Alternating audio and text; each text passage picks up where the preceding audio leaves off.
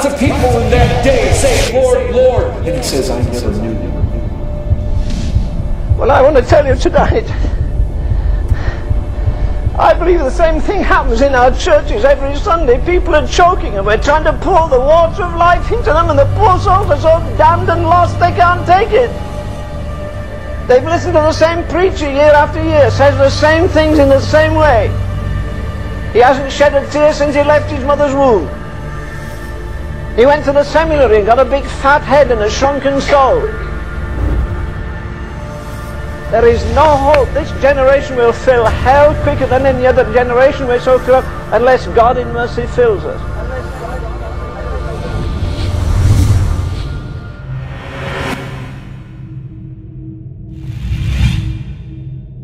There is a holiness without which we will not see the Lord.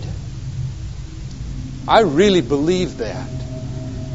There is a practical, daily, lived out righteousness without which nobody gets into heaven.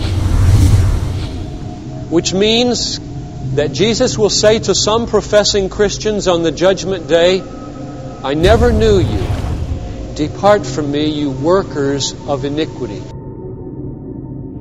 Even though they said, Lord, Lord, we did many mighty works in your name and went to church every Sunday. He dismisses them as evildoers because they did not have the holiness without which no one will see the Lord. It also means that there are many church going people who believe that they are saved because they once prayed to receive Jesus, not realizing that the proof of the genuineness of that prayer is perseverance in faith and holiness. He who endures to the end will be saved, not those who endure halfway to the end and then abort. I believe my ministry would be a failure if you came to this church five years, ten years, twenty years, thirty years, and then went to hell for all eternity because you never learned to fight the fight of faith and lay hold on eternal life. I might succeed in persuading you that there is a holiness without which you cannot see the Lord, only to have you throw yourself into pursuing it in a way that backfires on you and destroys you. The Bible makes it very clear that there is a way to pursue righteousness that leads to hell.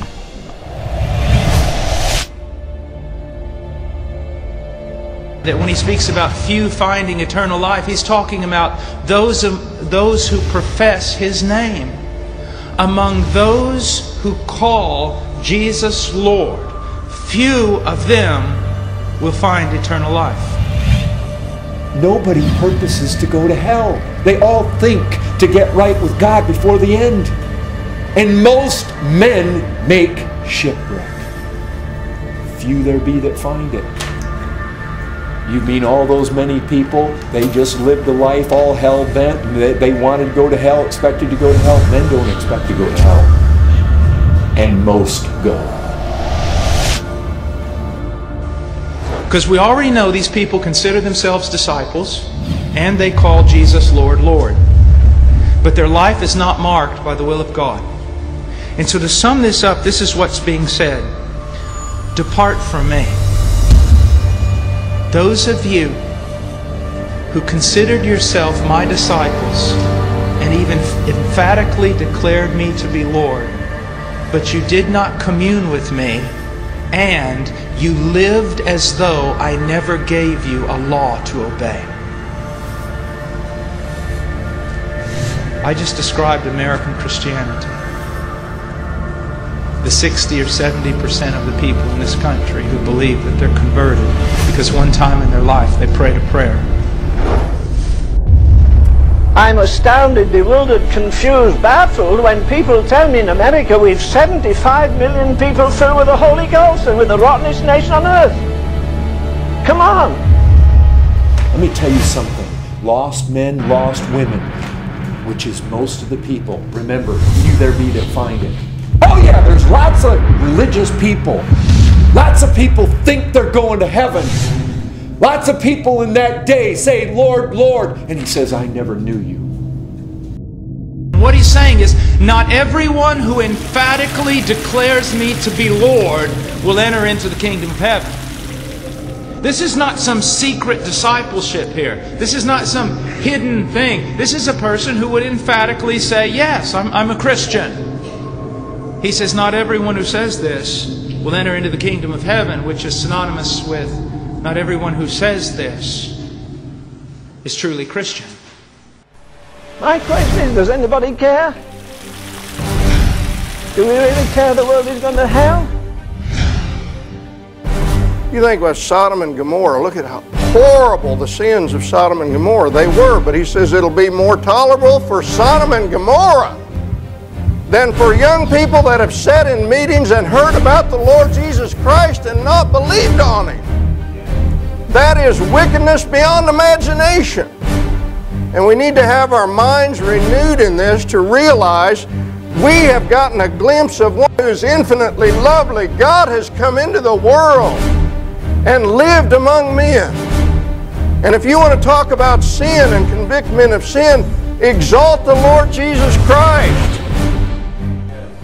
The greatest miracle that God can do is to take an unholy person out of an unholy world, make that unholy person holy, put them back in an unholy world, and keep them holy. In the midst of a crooked and perverted and perverse generation. He's worthy of worship whether you end up going to hell at the end. He's still worthy of worship for what he's done. If you look at what he did on the cross, if you look at the grace of the Lord Jesus Christ, he owes no one anything. He doesn't need to save anybody. Everybody in this world ought to bow down before him and worship him just because of what he's done. Whether you get anything out of it or not, he's worthy of worship. You know, we're, we are preaching an acceptable gospel today. Make it as painless as we can. And all we do is give people a shot to put them to sleep so they'll get to hell quicker. Shot to put them to sleep so they'll get to hell quicker. Do you want to know what your profession of faith in Jesus Christ is worth? Your confession of faith in Him, what it's worth? The answer is this it's worth absolutely nothing. No matter how emphatically someone declares themselves to be Christian, it is not the test of whether their Christianity is true. What is the test? We go on and we see this. But he who does the will of my Father who is in heaven will enter. Now, he is in no way teaching a works salvation. Not at all. He is not teaching that men enter into the kingdom of heaven by their ability to perform the will of God. That is not what he's teaching. If you think that, you're putting the cart before the horse. What he's teaching is simply this those who have truly believed do so by the power of the Holy Spirit by which they've been regenerated and made new creatures. Through this miraculous work of salvation and the continuing work of the Holy Spirit in their life, their lives and manner of living are changed. And so that the true Christian is Christian by believing in Jesus, but you know he truly believes in Jesus because of the changes in his life. And those changes are marked by conformity to the will of God. I believe we're going into the darkest days that humanity has ever known. So dark they'll make the dark ages look like midday.